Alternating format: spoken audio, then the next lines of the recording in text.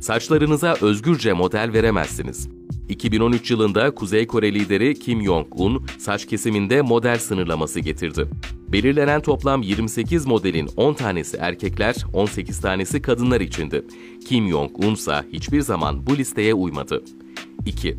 Başkentte kimlerin yaşayacağına hükümet karar verir. Dünyanın herhangi bir ülkesinde yaşıyorsanız başkente taşınmak için kendinize uygun bir ev ve iş bulmanız yeterli. Ancak Kuzey Kore'de durum farklı. Başkent Pyongyang'da yaşamak istiyorsanız önce hükümetten izin almak zorundasınız. Zira buradaki yaşam alanları sadece başarılı ve sadık Koreliler için ayrılmış durumda. 3. Herkes oy vermek zorunda. Evet ülkede görünürde demokrasi olduğu için seçim yapılıyor ve herkes oy vermeye mecbur. Ancak diğer adaylar formalite gereği Kim Jong-un'un ailesi ve çalışanlarından seçiliyor. Son seçimde Kim Jong-un'un oyların %100'ünü aldığı açıklandı. 4. Ne izleyeceğinize hükümet karar verir. Eğer Kuzey Kore'de yaşıyorsanız akşamları televizyonu açıp sevdiğiniz diziyi izlemek gibi bir şansınız yok. Çünkü ülkede izleyebileceğiniz sadece 3 kanal var ve bu kanallarda propagandadan başka bir şey göremezsiniz ve elbette ülkede internete erişim de imkansız. 5. İncil bulundurmak yasak. Kuzey Kore'de Batı kültürünü temsil ettiği gerekçesiyle İncil sahibi olmak kesinlikle yasak. %85'i ateist olan ülkede inanmanıza izin verilen tek tanrı, hükümet ve iktidardaki Kim ailesidir. 6. Suçunuzun cezasını aileniz de çeker.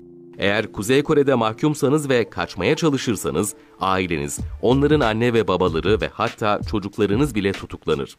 Dikta yönetimi bu kuralla kaçmaya çalışacak mahkumları en zayıf noktalarından vurarak caydırmaya hedefliyor.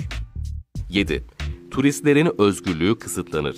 Eğer Kuzey Kore'ye turist olarak gitmeyi düşünüyorsanız yanınızda bir görevli olmadan hiçbir yeri gezemeyeceğinizi unutmayın. Turist gruplarının gezileri tamamen kontrol altında tutulur. Orada bulunduğunuz süre içinde bir Kuzey Kore vatandaşı gibi tüm haklarınızdan mahrum kalırsınız. 8. Kadın askerler Kuzey Kore'de kadın askerler aşırı katı disiplin kurallarıyla eğitilir. Zamanlarının çoğunu eğitimle geçiren kadın askerler tek tip saç kullanmak zorunda. Gösterilerde etek boyları, bacaklarının her hareketinin aynı olması için ağır çalışmalar yaptırılır. 9. Araç kullanma Kuzey Kore'de çoğu insanın araba sahibi olmasına izin verilmez. Ülkede hükümete ait araçlar dışında sadece 100 kişiden birinin şahsi arabası vardır. Ulaşım genellikle bisikletlerle sağlanır.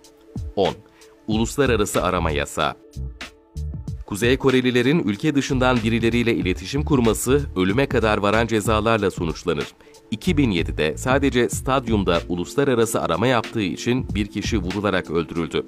Oluşan panikte 6 kişi de izdiham nedeniyle hayatını kaybetti. 11. Görüş bildirmek suçtur.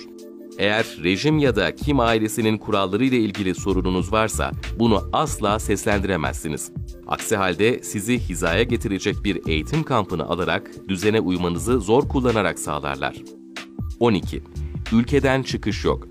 Elbette aklınıza şu soru gelmiştir. Bunca baskıya ve işkenceye rağmen insanlar neden ülkeyi terk etmiyor?